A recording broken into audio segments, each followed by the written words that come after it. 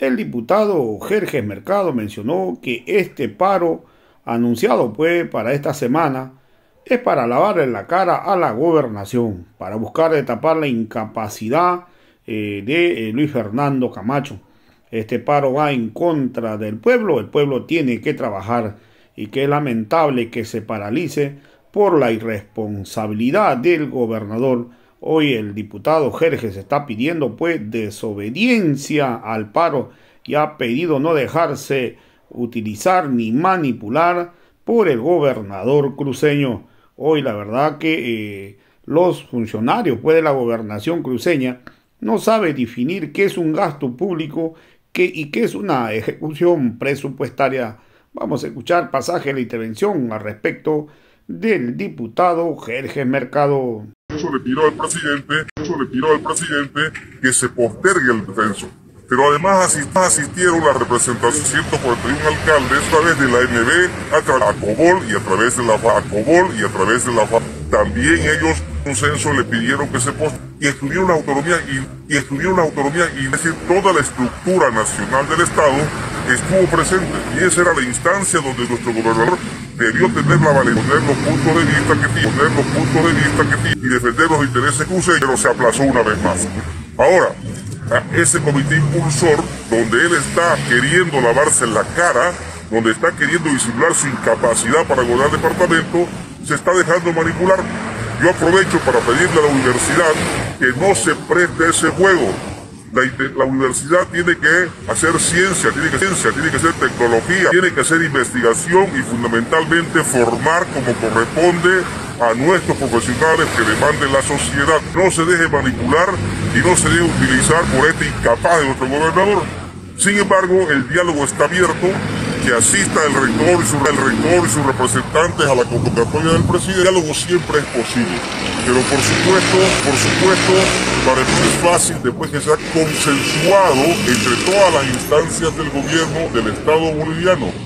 Ahora, este paro al cual están convocados es un paro una vez más que quiere lavarle la cara al gobernador y limpiar su incapacidad su incapacidad de gobernar y su gobernar y su falta de asistir a las instancias pertinentes.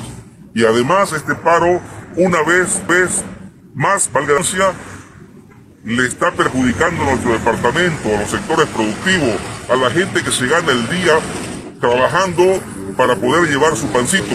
Entonces es una barbaridad que por una irresponsabilidad tengamos que pagar todos los cruceños y toda la economía boliviana más de 200 millones de bolivianos, que es la pérdida de un paro cívico, solamente por la incapacidad de alguien que no cumplió con su responsabilidad, no cumplió con su responsabilidad de instancias pertinentes. Eso, esa pregunta quería consultarle, ¿cómo se paro, eh, justamente paro, eh, justamente la reactivación económica por parte del Estado y a donde vamos a perder, inclusive?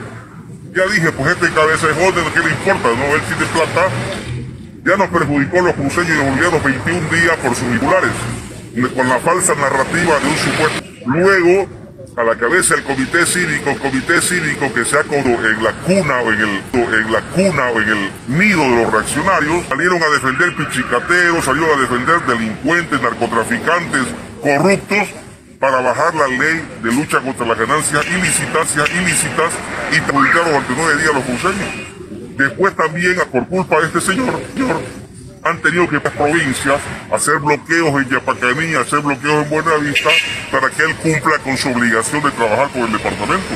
Y ahora por su culpa, una vez más, el departamento va a perder 200 millones de bolivianos al dejar de trabajar el próximo 25. Yo invito a los cruceños, invito a todos mis conterráneos a que haya una desobediencia a ese bloqueo, porque no es paro cívico, es bloqueo, porque sacan a sus grupos de choque a, a que pare, a que pare de trabajar, salgamos todos a producir, que eso es lo que quiere Santa Cruz, es lo que quiere Bolivia. Eh, ¿Alguna consulta de tu cabina central, eh, compañero?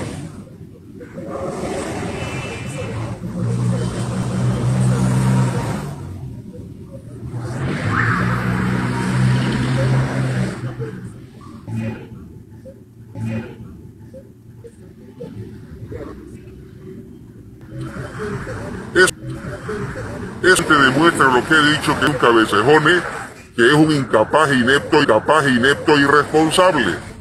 Nueve ejecución de la inversión pública es una vergüenza, una vergüenza. Es el departamento que peor ha invertido y tantas necesidades que tenemos de infraestructura.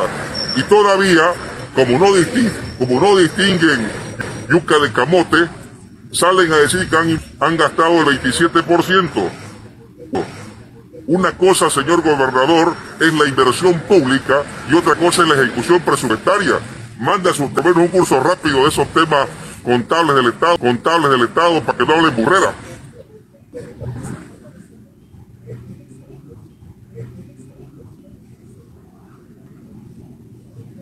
Ah, bueno, eh, y una vez más quiero aprovechar para decirle que este diputado eh, convencía, necesitamos desarrollar el país, necesitamos, necesitamos desarrollar nuestro país. El día viernes pasado he hecho una solicitud una solicitud de información urgente al ministro el ministro Montaño sobre los proyectos estratégicos, sobre los proyectos estratégicos Nos proveer cómo va el avance del estudio para ejecutar la carretera doble vía Cotoca Pailón Paraíso, vía Cotoca Pailón Paraíso nos pasando con la mejora de la navegación de la de la hidrovía Paraná y la hidrovía Ipré, pasando el, del canal el, canal Tamengo, que es parte de esa hidrovía Paraguay-Paraná.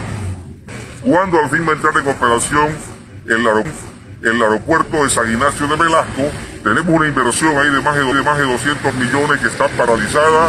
Este diputado hecho inspección, ha sacado leyes para que se realice la operación y hasta ahora no funciona. Hay carreteras como San, San, Matías, San Ignacio, queremos saber en qué estado se encuentra el EJA Bolivia, convertido de Santa Cruz, de Santa Cruz en un centro de operación aérea, sobre todo de carga, y no vemos que avance.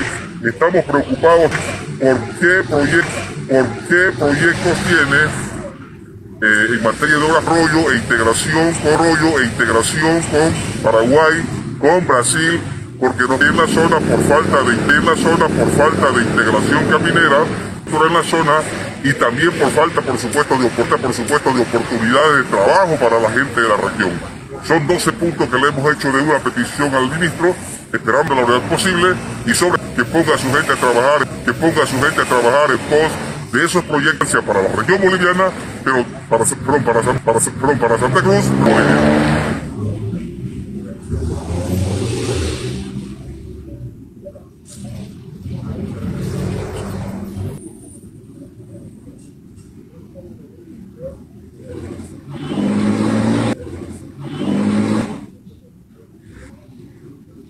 Gracias, un abrazo a todos nuestros pueblos y a la red, por supuesto, que nos une a todos los pueblos de Bolivia.